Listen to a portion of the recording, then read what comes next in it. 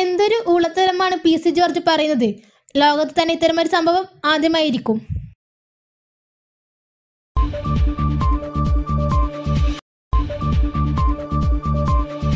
എന്റെ ഫോൺ ഞാൻ തന്നെ നശിപ്പിച്ചിട്ട് പോലീസിൽ പോയി ഞാൻ തന്നെ എനിക്കെതിരെ പരാതി കൊടുക്കുന്നത് പോലെയുള്ള കഥയാണ് വീട്ടിൽ റെയ്ഡ് നടന്നപ്പോൾ മുൻ M L A P C George പറഞ്ഞതെന്ന് സംവിധായകൻ ബൈജു കൊട്ടരക്കര.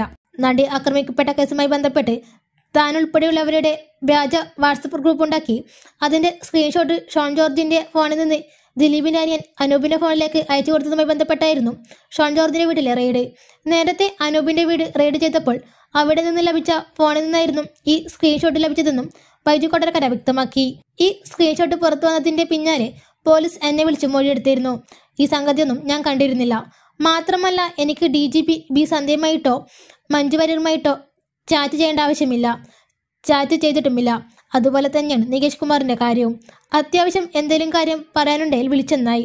അല്ലാതെ ഇത്തരമൊരു ചാറ്റിലൂടെ കാര്യങ്ങൾ പറയേണ്ട ആവശ്യമില്ലെന്നും ബൈജു കൊട്ടരക്കര പറഞ്ഞു.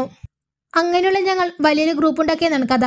ആരാധകരുടെയിലേക്ക് എത്തിച്ച് ദിലീപിന്റെ ഇമേജ് വർദ്ധിപ്പിക്കാനാണ് ഈ വ്യാജ സ്ക്രീൻഷോട്ട് ഉണ്ടാക്കിയതെന്ന് പറയുന്നതിൽ അർത്ഥമില്ല. അങ്ങനെ പുറത്തുവിട്ടാൽ ഈ നമ്പറുകളെല്ലാം പുറത്തു വരികയും ഇത് വ്യാജമാണെന്ന് വ്യക്തമാകുകയും ചെയ്യും. അത് കേസിലേക്ക് നയിക്കുമെന്ന് തലയിൽ അല്പമെങ്കിലും ആൾതാമസമുള്ള ആർക്കും മനസ്സിലാകും.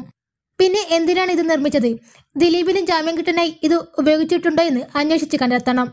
ബി സന്ധ്യയെ ഡി ജി പിയാക്കാൻ തീരുമാനമുണ്ടായിരുന്നെന്നും എന്നാൽ ദിലീപിനെതിരെ കരുക്കൾ നീക്കി ചിലരൊക്കെ വെറുപ്പിച്ചെന്നും D G P Loknath Behra പറഞ്ഞതായി പറയുന്നുണ്ട്.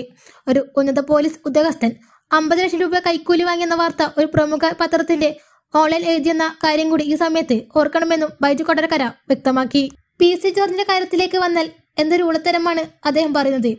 താൻ തന്നെ ഫോൺ നശിപ്പിച്ചിട്ട് പോലീസിൽ പരാതി കൊടുത്തു എന്നാണ് അദ്ദേഹത്തിന്റെ മറുപടി. അതിൽ നിന്ന് തന്നെ കാര്യങ്ങൾ എല്ലാവർക്കും മനസ്സിലാകും. ഇതിനകത്തെ ഷോൺ ജോർജിന്റെ പങ്ക് എന്താണ്? ഷോൺ ജോർജും ബിനീഷ് കോടിയേരിയും ഒരുമിച്ചാണല്ലോ ഒരു വക്കീൽ ഓഫീസ് കൊച്ചിയിൽ പ്രവർത്തിപ്പിക്കുന്നത്. ഇതിലൊന്നും ആർക്കും ഒരു പരാതിയില്ല.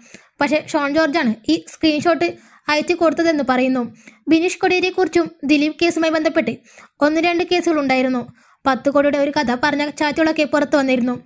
ഈ സാഹചര്യത്തിൽ എന്തെങ്കിലുമൊക്കെ വിളിച്ചു പറഞ്ഞാൽ അതെല്ലാം ജനങ്ങൾ വിശ്വസിച്ചു കൊള്ളണം എന്നില്ല. പി സി ജോർജ് കുറച്ചുകൂടി ആലോചിച്ച് കാര്യങ്ങൾ പറയണം.